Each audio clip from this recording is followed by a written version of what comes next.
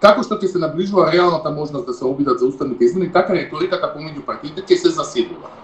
Владеачкиот блок ќе тврди дека имаат подршка за уставните измени, ВМРО ДПМН и Левица ќе тврдат дека сите нивни пратеници се така наречен бекон. Тие таа реторика сме ја виделе до сега неколку пати.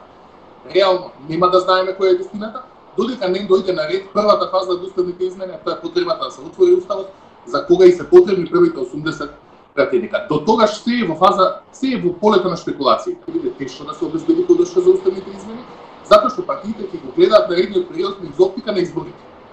Така што за уставните измени ќе биде се покомплицирано и покомплицирано да се направи а, пробив.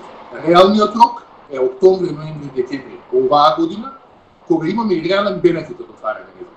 Веќе ако влеземе во 2024 партиите бидат фокусирани на избори, а не на уставни измени во сите поглавја ќе бараат своји ќе бараат, ќе уценуваат де факто да има бугарски учители, да има бугарски училишта, да има бугарски пратеници гарантирани, да има министри бугарски, разбирате. Значи, тоа е процес, ако го отвориме, кој нема да има крај и кој ќе биде погубен за Македонија. Секој пратеник мора да знае, со крајањето на својот на својата рака за уставни измени става нож во националното ткиво на македонскиот народ и де факто го уништува македонизмот.